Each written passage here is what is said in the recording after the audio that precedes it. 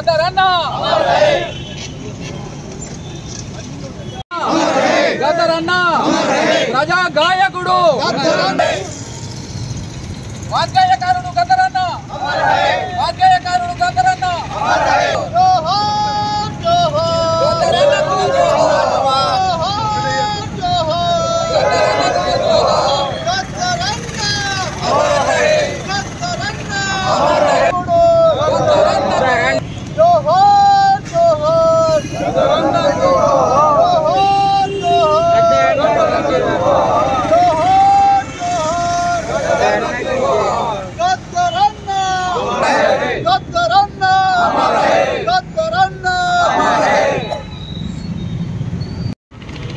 ఏదైతే గదరన్న మరణించడం తెలంగాణ దళితులకే కాదు తెల అవశేషమైనటువంటి తెలంగాణ ప్రజానికానికి ఇది ఒక తీరని శోకము. ఎందుకంటే ఆయన పంతొమ్మిది వందల నలభై ఎనిమిదిలో జననమైన తర్వాత ఆయన ఇంజనీరింగ్ చదివి పూర్తి చేసిన తర్వాత ఆయన గవర్నమెంట్కు ఉద్యోగానికి రాజీనామా చేస్తూ ప్రజాపోరాటంలో ఆయన కలిసి ప్రజలతో జీవిస్తూ ఏదైతే అణగారిన వర్గాలే కావచ్చు ఈరోజు రాజకీయ వర్గాలు వారిని ఏ విధంగా మోసం చేస్తున్నాయి అని ఏదైతే నిరంకుశ నిర నిజాం నిరంకుశతానికి వ్యతిరేకంగా పాటలు పాడుతూ అప్పుడున్నటువంటి అప్పుడున్నటువంటి ఏదైతే సమాజం ఉండేనో ఆ సమాజానికి వ్యతిరేకంగా పోరాటాలు చేసిండు ఏదైతే భూస్వామ్య వ్యవస్థ కావచ్చు నిరంకుశ పాలనలను ఏదైతే గడిల పాలనలను ఆయన వ్యతిరేకిస్తూ ఊరు ఊర తిరుగుతూ పారల్ పాటలతోని అందరినీ ఏకీభవిస్తూ అందరి మనసులు దోసి ఈరోజు తెలంగాణ మలిదశ ఉద్యమంలో కూడా పాటై వెలిగి అందరికీ పాటై గ్రామ గ్రామాలకి ఆయన పాట చేర్చి ఈరోజు తెలంగాణ సాకారమైనందుకు అశేషంగా కృషి చేసినటువంటి గదరన్న మరణం జీర్ణించుకోలేకపోతున్నాం. కాబట్టి ఆయన ఆత్మకు శాంతి కలగాలని దళిత సంఘాల ఆధ్వర్యంలో ఈరోజు ఆర్మూర్లో ఈరోజు ఆయనకు నివాళులు అర్పిస్తూ ఉన్నాము వచ్చిన ప్రతి ఒక్క దళిత సోదరుడికి ధన్యవాదాలు తెలుపుతూ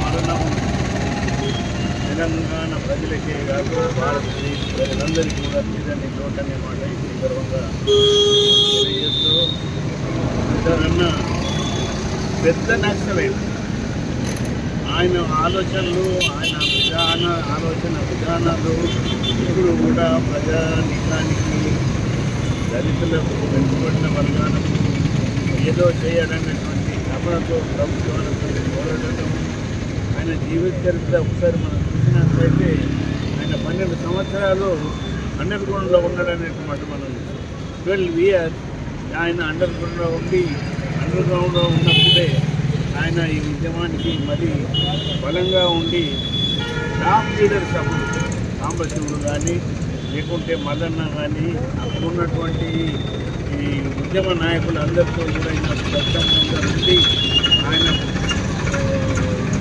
ఏదైతే అండర్ గ్రౌండ్ పోయిండో అప్పటి నుంచే ఈ దేశంలో మన దళితుల యొక్క విలువను పెంచడానికి ప్రయత్నించారు.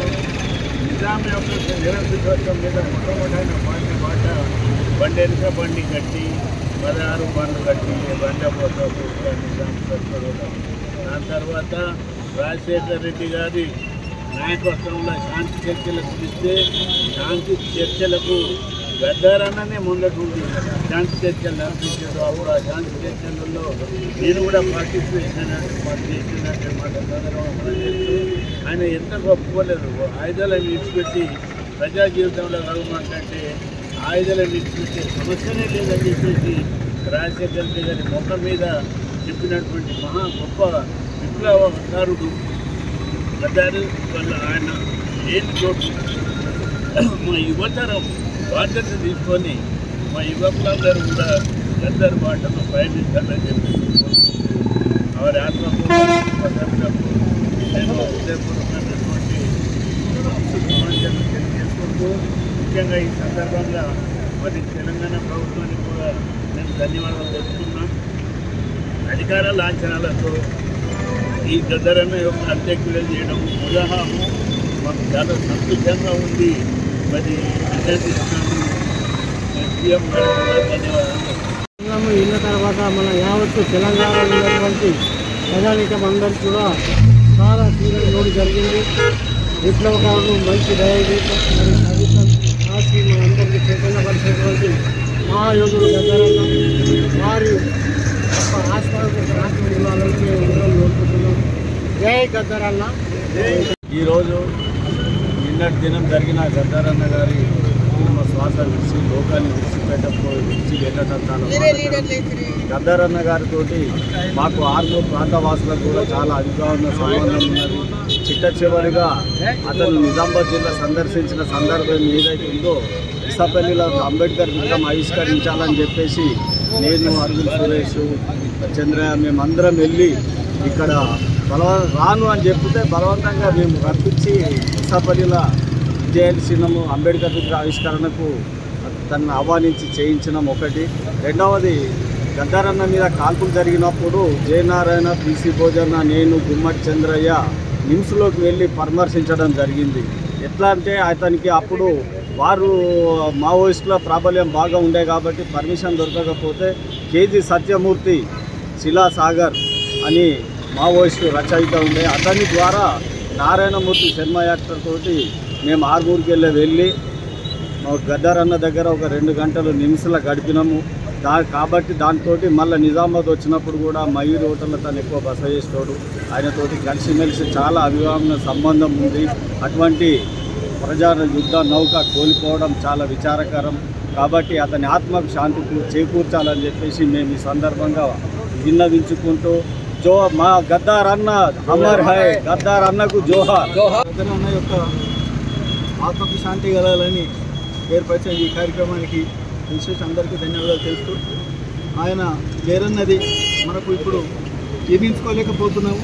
ఎందుకంటే అతడు పదిహేను రోజుల నుంచి హాస్పిటల్లో ఉండదని తెలిస్తే భగవంతుని ఎల్లవేళ మేము కోరుకున్నాము గదరన్న బాగా కావాలి బాగా కావాలి సమాజాన్ని ఇంకా ఆయన అడుగుజాడలో నడిపించుకోవాలా నడిపి నడుస్తామని చెప్పేసి కోరుకున్నాము. కానీ ఆ భగవంతుడు దురదృష్టవశాత్తు మరి ఆయనకు ఒక బుల్లెట్ తన గాయాల్లో లోపల తన శరీరం లోపల ఒక బుల్లెట్ ఉన్నా కానీ ఆ బుల్లెట్ను తీస్తే ఆయన చనిపోతాడని డాక్టర్లు ఇచ్చిన సలహా ప్రకారము ఆ బుల్లెట్ను అట్టనే ఉంచుకొని ఇన్ని రోజుల వరకు ఆయన యుద్ధనౌకగా పోరాడి ప్రజా శ్రేయస్సుకు దళితుల అభ్యున్నతి కోసము అన్ని విధాల పాటుపడిన గద్దరన్న ఇప్పుడు మనకు లేడని చెప్పేసి అంటే చాలా చాలా మరి బాధాకరం విషయము.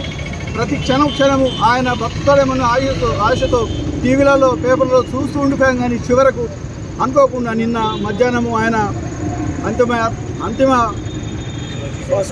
శ్వాస వదిలే వరకు ఎవరికి కూడా తెలియదు. కాబట్టి ఆ భగవంతుడు అతనికి ఆయుధారోగ్యములు ప్రసాదించి ఎందుకంటే ఆయన చనిపోయినా ఇప్పుడు ప్రతి వ్యక్తిలోనూ తెలంగాణలో కానీ ప్రపంచంలో కానీ ఇక్కడ ప్రతి వ్యక్తి ఆత్మలో కూడా గతారనే ఉంటాడు కాబట్టి ఆయనను మేము చిరస్కారం చిరస్మరణీయంగా ఎల్లప్పుడూ మేము ఆయనను కొనియాడుతూ ఆయన అడుగులలో మేము నడుస్తామని ఈ సభాముఖంగా తెలియజేస్తూ దీన్ని జయగతారన్న